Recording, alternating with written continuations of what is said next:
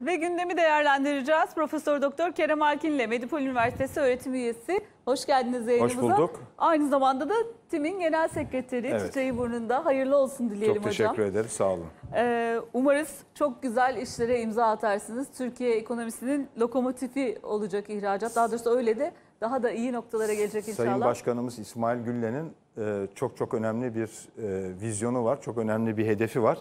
Dış ticaret fazlası veren Türkiye. Dolayısıyla kendisinin e, başkanlığında e, bu sürece e, katkıda bulunmak adına, akademik ve teknik anlamda katkıda bulunmak anlamında elimizden geleni yapacağız tabii ki.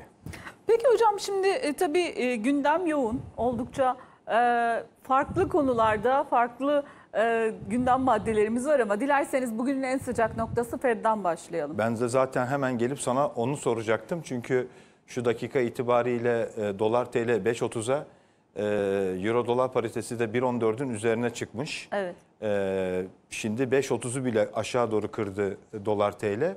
Bu da bana sanki e, bu akşam için Fed'in e, yeni bir faiz artışı kararını atlayabileceğine dair ya da 2019 ile ilgili daha büyük bir belirsizlik ortaya koyacağına dair beklentinin sanki arttığına işaret ediyor. E, bugün pas geçebilir mi?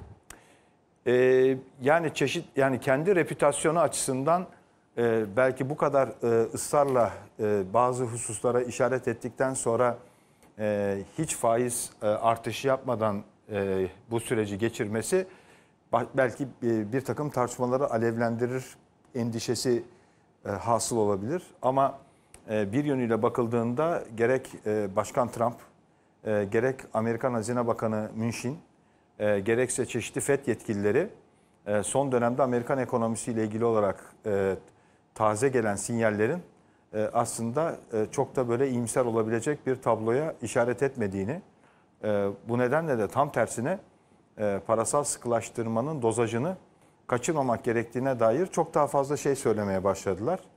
E, bu nedenle e, çok sürpriz bir e, gelişme olur.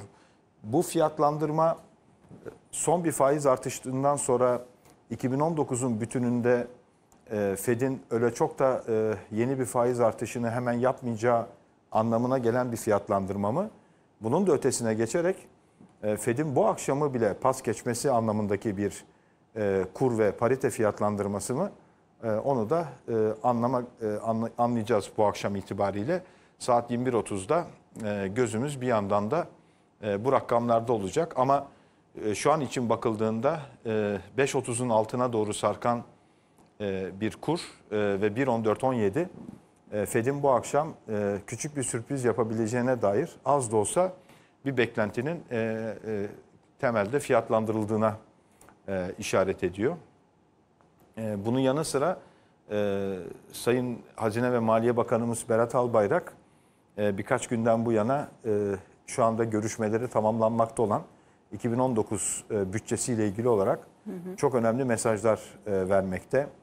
E, 2019 ile birlikte enflasyondaki aşağı yöndeki düşüşün e, daha da hızlanacağına dair e, dengeleme ve disiplin döneminin e, 2019'da daha hissedilir ölçüde e, makro sonuçlar vereceğine dair değerlendirmeleri var Sayın Bakan'ın. E, bu vesileyle de e, Türkiye ekonomisinin e, atlattığı bunca badireye rağmen Amerika Birleşik Devletleri Türkiye'ye açıkça Ağustos ayında bir ekonomik savaş ilan etmiş olmasına rağmen makro göstergeleri ne olursa olsun e, belirli bir e, seviyede e, tutmak suretiyle e, böyle zorlu bir yılı böyle bir tabloyla kapatıyor olmamız e, bu, bunun da belki e, bu döviz kurlarında e, şu son gün e, gözlemlemekte olduğumuz fiyatlandırmada e, belli bir etkisi olduğunu da göz ardı etmemek lazım. Ee, Şimdi tabii e, önemli bir de açıklama var. Bir yandan da aslında Amerika'nın işte o Suriye politikası konusunda da önemli gelişmeler oluyor biliyorsunuz. Dilerseniz onunla ilgili de bir başlığı şu anda da son dakikamızda görüyoruz aslında ekranlarımıza veriyoruz. Ee, Trump'ın tweet'i DAEŞ'ı Suriye'de yendik. Suriye'de bulunmamızın nedeni buydu diyor. Yani bu arada da yani e, çok farklı e, çok farklı sayiklere e, bağlı olarak e, bu merkez komutanlığı denilen US Central Command dedikleri e, ABD Merkez Komutanlığı'nın e, bulunduğumuz coğrafyada yürütmeye yürütmeye çalıştığı e, son derece tartışmalı e, e, askeri stratejiler boyutunda baktığında Donald Trump e, adeta bu askeri strateji ve iddiaları bir bakıma e, e, bir bakıma boşa çıkaran e, bir takım açıklamalar yapıyor. Yani Donald Trump da e, belki e, bu PYD ve YPG'nin silahlandırılması suretiyle e, Amerikan Merkez e, Merkez e, Kuvvetler Komutanlığı'nın e, uzunca bir zamandan beri 1990'lardan bu yana e, bu coğrafyada Türkiye'yi ciddi manada rahatsız eden e, askeri e, politikalarına yönelik olarak da aslında çok ilginç bir e, tespitte bulunuyor. Dolayısıyla DAEŞ eğer fiilen yenildiyse ve e, etkisiz hale geldiyse bizim Suriye'de artık ne işimiz var diyor. E, e, e, Trump o yüzden de hani bu açıdan baktığımızda Türkiye'nin aslında bir bakıma tezlerini de e, doğrulayan bir açıklama bu. Bir yandan da tabii e, Amerika'dan Patriot'ların satışına da onay geldi. Evet. E, 3,5 milyar dolar değerindeki savunma sistemleri biliyorsunuz. Bu da önemli bir aşamaydı aslında. Hiç şüphesiz. Ve dolayısıyla aslında burada bölgede bambaşka bir 2019'a hazırlanıyoruz e, diyebilir miyiz? Ve bunun da tabii ekonomiye etkilerini nasıl değerlendirmek gerekir? Şimdi belki e, Fırat Kalkanı ve Zeytin Dalı harekatlarının olağanüstü başarısı hiç gündemde olmasaydı Amerika Birleşik Devletleri e, Sayın Cumhurbaşkanımızın liderliğinde e, Türkiye'nin bu coğrafyada artık en ufak bir terör örgütüne e, en ufak bir müsamahası dahi olmadığı noktasındaki açıklamaları kendileri açısından belki bir takım müzakereler için masada bir takım satranç hareketleri olarak görebilirlerdi. Fakat Türk Silahlı Kuvvetleri'nin, Silahlı Kuvvetlerimizin, e, Türkiye'nin güvenlik ve istihbarat birimlerinin e, Fırat Kalkanı ve Zeytin Dalı operasyonlarında ortaya koydukları büyük başarı, e, bu yönüyle bakıldığı zaman e, Fırat'ın doğusu ile ilgili olarak Sayın Cumhurbaşkanımız çok net mesajlar veriyorsa e, Türkiye açısından e, bunun hiç şakası olmadığına dair artık genel bir kanaati uluslararası alanda oluşturmuş durumda. Türkiye'nin bu konuda hiç tavizsiz e, hareket ettiği artık çok net görüldüğünden dolayı e, Amerika'nın bu noktada e, bu, bu konunun artık Türkiye için müzakere masasındaki bir konu olmaktan çok çıkıp e, Türkiye'nin liderliğinde bu coğrafyanın bekası ile ilgili olarak, bu coğrafyanın geleceğiyle ilgili olarak, bu coğrafyanın geleceğini kurtarmakla ilgili olarak e, son derece net, son derece kararlı bir tutum olduğu artık idrak edilmiş durumda. E, Bu nedenle Amerikan yönetimi bugüne kadar çeşitli konuları e, Türkiye ile müzakere e, masasında kendisi için bir kaldıraç olarak kullanabilmek adına bunları pazarlık konusu olarak bir kenarda tutuyor idiyse şimdi çok net anlıyorlar ki Türkiye artık oraları çoktan aşmış durumda. E, bu konuların herhangi birisiyle ilgili olarak en ufak bir müzakere etme niyeti yok. Son derece net bir şekilde diyor ki e, arkadaş e, Türkiye kendi savunmasını, kendi hava savunmasını, kara savunmasını, deniz savunmasını yapa- yapacak dirayete sahip. Bununla ilgili gereken inisiyatifi almaya e, sahip. Dolayısıyla bize Patriot verdiniz verdiniz. Vermezseniz e, burada bizim yeni stratejik ortaklarımız var. E, yeni beraberliklerimiz var. Bunlardan bir tanesi Rusya. E, biz de o zaman yolumuza Türkiye'nin hava savunması için S-400'lerle e, rahatlıkla devam etmeyi biliriz.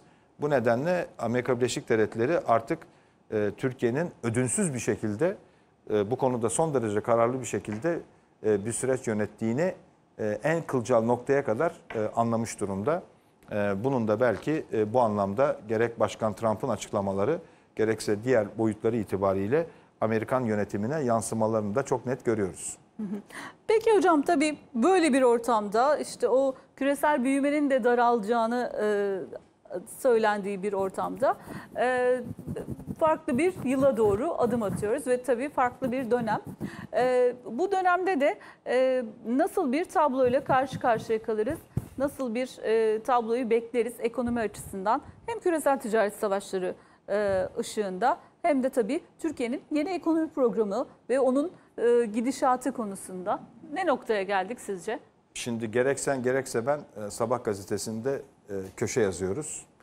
E, ve bu nedenle ben mümkün olduğu kadar pazartesi günleri hafta sonu e, başta A para olmak üzere gerek e, Medya Grubu'nun gö- görsel gerekse yazılı medyasında bir veri açıklandıysa, ekonomiyle ilgili bazı hus- hususlar değerlendirildiyse sen pazar günleri de zaten köşende e, ciddi manada bütün o süreçleri toparlayacak şekilde gayet güzel yazıyorsun. Teşekkür ben de ederim. diyorum ki madem ki bütün yazarlarımız, bütün e, televizyon kanallarımız bir hafta boyunca ne olduğunu gayet ciddi manada derinlikli bir şekilde analiz etti. O zaman pazartesi günlerinin mümkün olduğu kadar küresel meselelerle ilgili yazılar yazmaya e, dikkat ediyorum. E, o nedenle de hafta sonu oturdum, ders çalıştım. E, acaba 2019 için e, dünyadaki önemli düşünce kuruluşları, önemli ekonomistler 2019 için dünya ekonomisini etkilemesi olası riskleri kaç maddede okuyorlar diye e, gözlemledim ki 5 tane e, 2019 için e, dikkatle takip edilmesi gereken küresel e, temel risk var. Bunlardan ilki e, çok önemli ve ilginç bir tespit. Amerika Birleşik Devletleri'nin Çin'le arasındaki ticaret savaşları ve kur savaşları üzerinden yürüttüğü husumeti geçici bir konu olmaktan çıkarıp stratejik bir politikaya dönüştüreceği ihtimali. Yani Çin'le dalaşmayı, Çin'le didişmeyi Amerika'nın artık bir politikaya dönüştüreceğine dair e, bir algı söz konusu.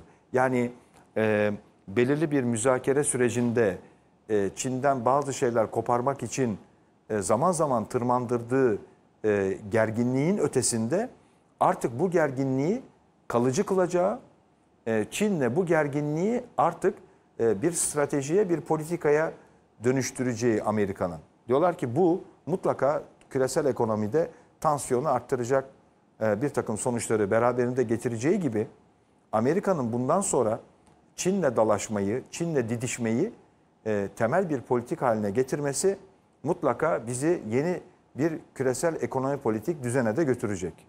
2000 Ateşkes hikaye Evet, yani 2000, aslında. evet, 2019 için birinci tespit bu. İkinci e, enteresan e, tespit e, dünyada bu kişisel verilerin e, ya da e, bizim her gün akıllı cihazları kullanırken ya da herhangi bir e, herhangi bir hayatımızı ilgilendiren e, bir işlem yaparken e, dünyaya trilyonlarca miktarda veri dağılıyor. E, biz yaptığımız her harekette aslında dünyadaki dijital ekosisteme bir veri atıyoruz. Bu da big data dediğimiz büyük veriyi ve bu büyük veri üzerinden e, bir e, ne diyelim e, bir veri madenciliğini de beraberinde getiriyor. Bu çok çok önemli. Diyorlar ki Çin bu veriyi kimseyle paylaşmak istemiyor ve kontrol etmek istiyor. Avrupa Birliği aşırı demokratik yaklaşımla bu verilerin hep gizli kalmasını, bunlara hiç dokunulmamasını istiyor. E, Amerika Birleşik Devletleri ise tam tersine bu dijital verilerin tümünün ticarileştirilmesini istiyor. Dolayısıyla üç önemli kutup arasında bu kişisel verilerin geleceğiyle ilgili olarak önemli görüş ayrılıkları var. 2019'da acaba bu görüş ayrılıkları e, ülkeler arasında farklı regülasyonlar ve düzenlemelerle e, yeni gerginlikleri de beraberinde getirir mi anlamında bir risk e, işareti söz konusu. Üçüncü önemli e, risk olarak ifade ettikleri konu e, 2018'de e, dünya tarihinin en acı e, doğal afetlerinin yaşandığını söylüyorlar. E, 2017'ye kadar e, kabul edilebilir düzeyde giden doğal afetlerin sebep olduğu ekonomik ve insani e, bedellerin 2018'de bir anda iki buçuk katına çıktığı ifade ediliyor. Diyorlar ki e, ve korkulan şu 2019'da e, seller, büyük seller, büyük orman yangınları, büyük kuraklıklar, e, fırtınalar bu, bu nedenle 2018'inin de üzerine çıkacak e, bir doğal afet zararı hem insan kayıpları ne yazık ki hem de aynı zamanda da birçok ekonomik değerin yok olması anlamında Kaliforniya'daki yangında e, ormanlar gitti, insanların evleri gitti, arabalar gitti, birçok şey yok oldu. Dolayısıyla e, önemli bir risk olarak dü- dünyadaki e, iş çevrelerini etkileyecek, dünyadaki sigortacılık sistemini olumsuz yönde etkileyecek bir endişe olarak e, bu meseleye e, işaret ettiklerini e, ifade ediliyor. Dördüncü bir korkula, korku duyulan e, mesele e, Başkan Trump'ın e, veya Fransa'nın önümüzdeki e, sene 2019'da e, kendi ülkeleri menşeli olan şirketleri dünyanın başka ülkelerindeki fabrikalarını kapatarak ille de ülkeye dönmeye daha fazla zorlamaları yani korumacılığın e, daha da e, hortlaması. E, burada burada da enteresan bir ifade e, kullanılıyor. Be- Beni çok ilgimi çekti. E, şirketleri, küresel şirketleri ulus ulus e, e, e, ne diyorlar? Vatansızlaştırma. E, ulusal ulus ulus kavramının dışına çıkarmaları. Yani şirketler e, kendi ilk menşeyle çıkış e, ülkelerinin aşırı baskısı nedeniyle sonunda vatansız olmak zorunda mı kalacaklar? Yani e, dünyaca tanınmış olan uluslararası şirketlere ilk çıktığı ülkenin aşırı baskısı nedeniyle ille bize dön, ille fabrikalarını buraya getir. Sonunda adam diyecek ki tamam ben artık Amerikan kökenli bir şirket değilim. Ben artık dünya ölçeğinde bir şirketim. Ben artık Alman kökenli şirket değilim. Ben artık Fransa kökenli bir şirket değilim anlamında. e, bununla ilgili olarak da e, ciddi manada bir e, tartışma var. Yani şirketler sonunda vatansızlaşmayı mı e, tercih etmek durumunda kalacaklar. Yani 2019 ile ilgili olarak küresel ticaret ve kur savaşlarının daha da tırmanabilmesi riski, e, uluslararası şirketlerin kendi ülkelerinden daha büyük baskı görmeleri riski, e, kişisel verilerle ilgili tartışmalar, e, bu ve buna benzer meseleleri, doğal afetlerle ilgili endişeler bunların Bunları e, sık ciddi sık manada konuşacağız. öne çıktığını e, e, görüyoruz. E, Peki- bunun da tabii euro dolar paritesi üzerinde, e, küresel altın fiyatları üzerinde, e, aynı zamanda da e, ilk e, konuya girerken konuştuğumuz mesele Amerikan Merkez Bankası FED e, ve Avrupa Merkez Bankası e, ECB'nin, e, European Central Bank'in üzerinde bir takım etkileri olacağını da göz ardı etmemek lazım. Peki hocam şimdi bir yandan da tabii Türkiye açısından da önemli kararlar alınıyor. İşte bu hafta gördük aslında bütçe fazlasını gördük. 7.6 milyar e, liralık bir bütçe fazlası vardı. 11.4'lük bir işsizlik vardı. Sanayi üretiminde bir daralma vardı. Ve e, tabii bir yandan da bireysel yatırımcıya belki de en önemlisi bireysel yatırımcıya dövize dayalı tahvil ihracı, altına dayalı tahvil ihracı ve kira sertifikası konusu vardı. Bugün yine siz gelmeden önce bir son dakika gelişmesi vardı. Hazine bankalara 400 milyon euroluk sabit ödemeli kira sertifikası satacak haberi geldi. E, bu tabloya baktığımız zaman artık dengelenme sürecinin yani o yeni ekonomik programındaki dengelenme, disiplin ve dönüşümdeki dengelenme e, kısmının e, giderek oturduğunu söyleyebilir miyiz? Ve e, 2019 yılında siz neler yapılması gerektiğini ve hangi konuda daha fazla adım atılması gerektiğini düşünüyorsunuz? Şimdi burada e, Türkiye bazı tercihlerle karşı karşıya. Bunu asla göz ardı etmemek lazım. E, bu tercihlerden bir tanesi de e, büyümeden ciddi manada e, e, e, feragat ederek büyümeyle ilgili önemli bir fedakarlığı göze alarak enflasyonu öngörülenden de hızlı bir şekilde aşağıya çekmek. Çünkü e, söz konusu enflasyon oranının e, nominal faiz üzerinde e, onu yukarı doğru itme anlamında ciddi bir baskısı söz konusu.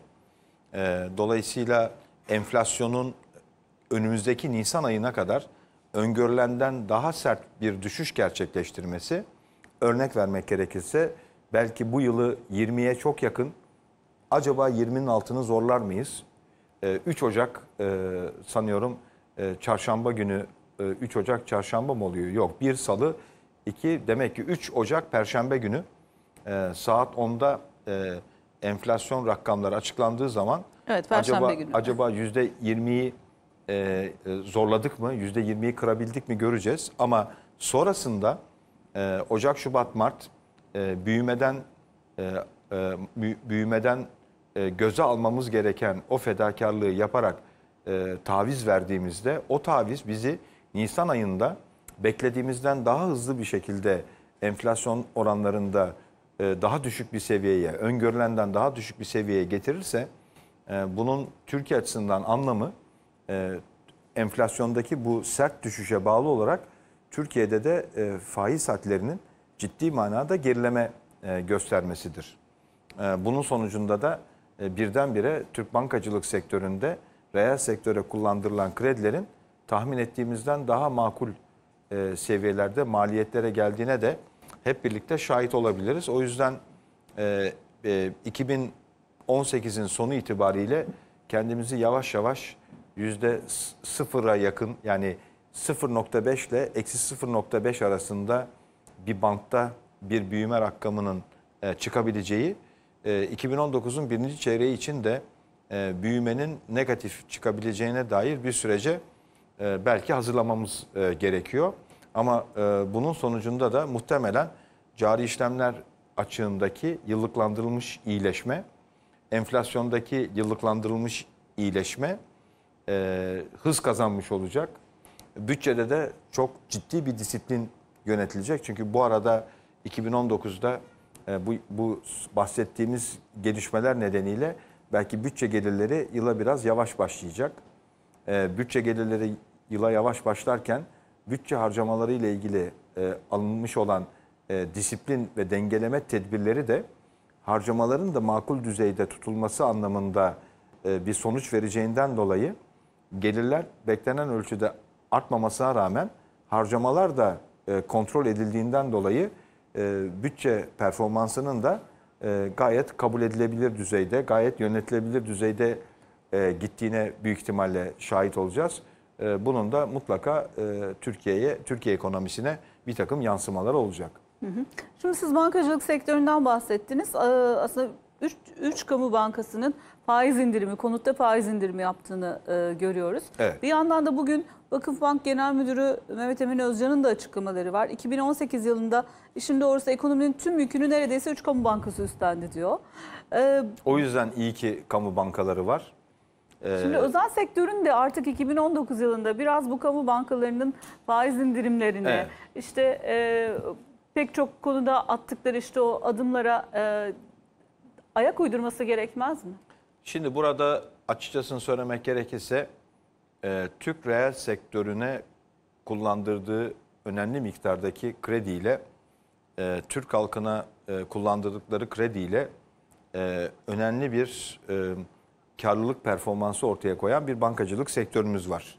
Ve hiç şüphesiz e, bu geçmiş yıllarda elde edilen Türkiye ekonomisindeki olumlu aktiviteden, e, önemli aktiviteden, reel sektörümüzün üretim ve ihracatla ilgili çabalarından, Türk halkının e, yaşam standardı ile ilgili beklentilerinden kaynaklanan bireysel ve kurumsal krediler Türk bankacılık sektörüne önemli bir karlılık da kazandırdıysa burada karşılıklı kazan kazan ilişkisi söz konusu. E, bankacılık sektörünün de kendisine kazandırılan bu karlılığı önemli ölçüde hatırlayarak, bunu gözden geçirerek e, mutlaka e, sermaye yeterliliğini güçlendirmek adına kendi e, bankalarının e, sermaye yapılarına e, bazı önemli enjeksiyonlar e, yapmaları yararlı olacaktır. Yani bu dönem içerisinde özel e, sektör bankacılığını da sermayelerini arttırmaya, e, böylece Türkiye'deki reel sektöre e, daha fazla kredi kullanma imkanına ulaşmak adına e, gereken e, tedbirleri ve çalışmaları yürütmeleri konusunda e, bir çağrıda bulunmamız gerekiyor. E, ama e, 2008 küresel finans krizine yaklaştığımız dönemdi. E, o dönemde ben e, köşe yazarıydım bir gazetemizde ve e, kamu bankalarının özelleştirilmesinde aceleci e, davranılmaması gerektiği konusundaki hassasiyetimi belirtiyordum. E, bir krizin yaklaşmakta olduğunu e, ve bu nedenle de e, o yaklaşmakta olan küresel e, finans krizi patlak verdiğinde e, üç kamu bankamızın e, varlığını sürdürmesinin yani Türkiye'de kamu bankalarının var olmasının e, Türkiye ekonomisinin küresel sistemden gelecek böyle bir kriz e, dalgasına karşı elini güçlendireceğini hep ifade etmekteydim. Gel gör ki o zaman Son e, bu yazdığım e, e, görüşler nedeniyle çok enteresan bir şekilde sanki öyle bir adammışım gibi hoca sen komünist misin? E, ne demek o? Niye kamu bankaları özelleştirilmiyor gibi bir takım e, eleştiriler söz konusu olmuştu. Fakat e, daha sonra o eleştirileri yapanların çoğu iyi ki e, o dönemde kamu bankalarını özelleştirmek için acele etmemişiz e, görüşünü e, tekrar e, kabullenmek durumunda kaldılar. Bugün itibariyle bakıldığında Türkiye gibi bu kadar dinamik, e, bu kadar e, küresel sistemde belirsizliklerle yoğun mücadele veren bir ülkenin yani bu yaşadığımız olayların önemli bir kısmı e, dünya ekonomi politiği yeniden yapılandığı için e, bize bize bize de bunun bir yansıması ve basıncı oluyor. İyi ki kamu bankaları var ki e, bu süreçleri e, gerçekten o kamu bankalarımızın da e, ciddi katkıları ve destekleriyle yönetiyoruz. Evet. Özel sektör bankalarımızda son cümle, e, kamu bankalarımızın bu konuda ortaya koydukları çabayının farkında olmaları itibariyle 2019'da e, paniklemek yerine e, reel sektör için ne yapabiliriz? E, bunu düşünmeye devam edeceklerdir. Çünkü hep herkes varsa sistem çalışıyor. Reel sektöre sırtını dön, reel sektör kırılma yaşasın. Sonra Olmaz. bankacılık sektörü de e, biz ne yaptık diye kendileri üzülecekler. Evet. Dolayısıyla herkesin herkese destek olduğu, birbirine birbirine yardımcı olduğu bir 2019'u yönetmekle mükellefiz. Peki hocam çok teşekkür ediyorum Rica değerlendirmeleriniz için. Profesör Doktor Kerem Altin konuğumuzdu.